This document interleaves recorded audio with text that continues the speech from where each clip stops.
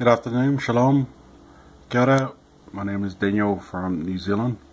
Uh, I've been Torah code searching for just over four years now. Uh, still don't have everything under control, but um, getting better.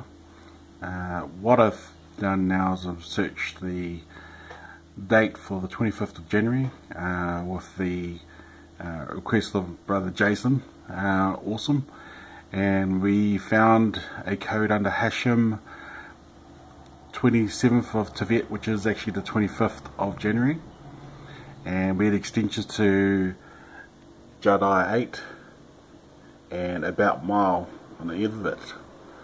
Uh, so Jadai means praised, so praised 8, Hashem being the name, uh, and Tevet being the sort of uh, Hebrew month, which corresponds to the 25th of January. Now, the matrix odds look quite amazing, um, which is great.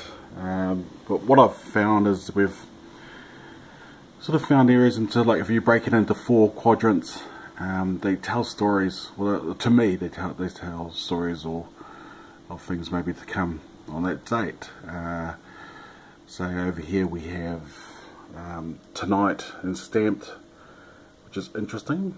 Um, we have down the bottom here um, Josabad, which means uh, God has endowed, and it's right above uh, Judah, so maybe the tribe of Judah uh, is endowed.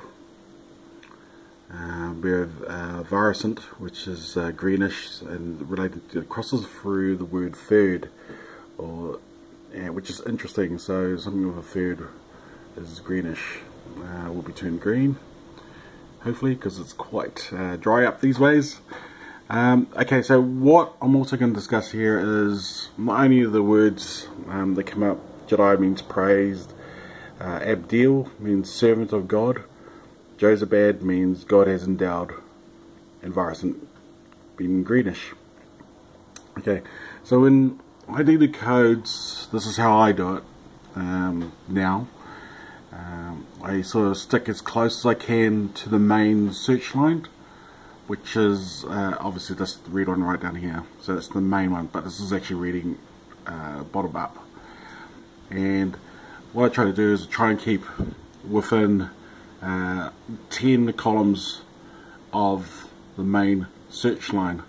Um, obviously you can keep going to 50 you can keep going to 100 if you want to do but under my theory I'm just working on whatever's closest to the main search line is more important um, than the ones further out. Um, I've used pretty much five uh, Hebrew words with five letters or more um, except for one of them which is I've done four letters here and rail in Egypt uh, reason why I've done four uh, letters here because uh, it's right adjacent to the main search words. And what is important is exactly the ones of words that go cross through the main sentence, through the main search code. One's adjacent. Um, they seem to be quite interesting. And what i am looking at is uh, no words of wide skips, major wide skips. Um, just doesn't make sense that that would occur. Um, and I've uh, printed what has naturally been found found next to it in the code. I haven't tried to import um, words I want to find in it. I just have just displayed all the words that have been found for this code. Um, so what I'm looking at is, yeah, again, quadrants, clusters in the area, seem to tell stories, and it seemed to be always in fours um, and they're close and by. Uh, so there's something of Egypt so servant of God uh, is on one side. Egypt seems to be down the side there so it's interesting that's come up. Uh, something's tonight on that night the 25th it's going to be stamped.